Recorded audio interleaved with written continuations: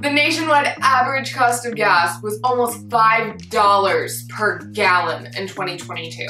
In 2021, a move from Washington, D.C. to Portland would cost about $850 in gasoline. Now, just one year later, it would cost $1,300. According to a recent study by Hire a Helper, 2022 is the most expensive year on record for moving.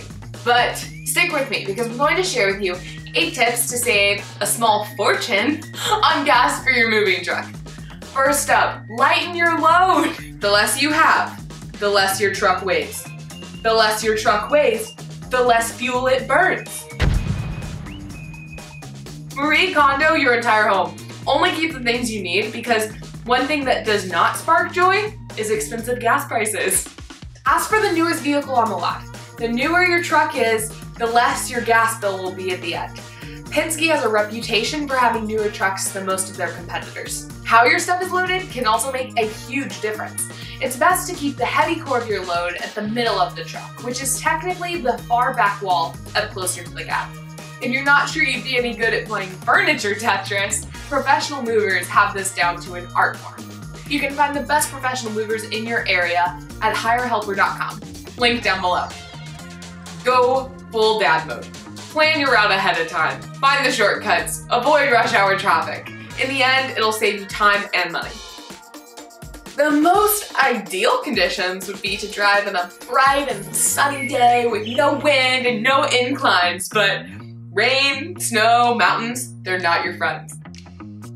Having your windows rolled down on the highway will increase your drag, which then decreases your fuel efficiency. But having the AC running will also decrease your fuel efficiency. So the best advice we can give is to keep your windows rolled down when you're going through slower moving traffic, but have your windows rolled up with the AC at a low setting when you're hitting the highways. Speeding can decrease your vehicle's fuel efficiency by up to 40%. So relax, channel your inner grandma, and slow down. Convenience will cost you. Gas at rest stop pumps is significantly more expensive, sometimes by a quarter per gallon or more. So use Google Maps to find gas stations along your route with their real-time prices, along with the most eco-friendly and fuel-efficient routes. Let's briefly go over the fuel policies you might not know about so that you can save the most amount of money with the truck you choose. Hiring a moving company? All moving companies portable storage containers, and even airlines tack on a fuel surcharge. This could mean a couple extra hundred dollars or a thousand, so make sure you ask about the fuel surcharge ahead of time.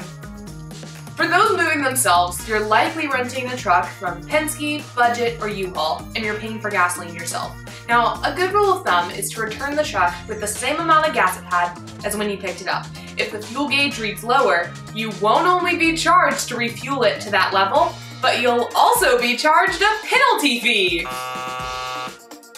A side note about U-Haul, they have a service called EZ-Fuel where they will refuel your truck upon your return, but it's typically way more expensive, so definitely not ideal. Which moving truck is most fuel efficient? Well, generally, Penske has the most fuel efficient trucks, but it really depends on the fuel type, the truck size, and how many gallons it can hold. And remember, towing your car will impact your fuel efficiency. Wow, look how much money I just saved you. Go ahead and like this video so it can be higher than inflation. Hmm.